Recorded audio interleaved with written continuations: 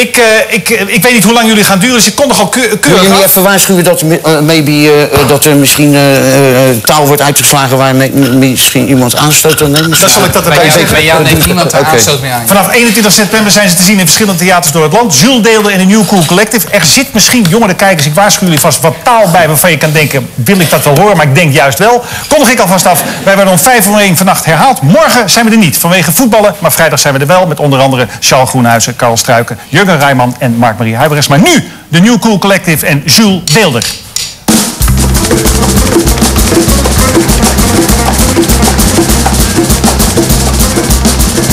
De jazz stamt van de negers. De negers uit Amerika. De negers uit Amerika stammen van huis uit uit Afrika. Zij werden door ons Hollanders met schepen naar de States gebracht. En bepaald niet eerste klas, maar als beesten vastgeketend in stinkende ruim op ingepakt. Om aan de overkant, zo ze nog leefden, als slaven te worden verpatst. Een zwarte dag in ons verleden. Maar hadden we ze niet gebracht, hadden we nou geen jazz gehad. En dat zou nog erger geweest wezen.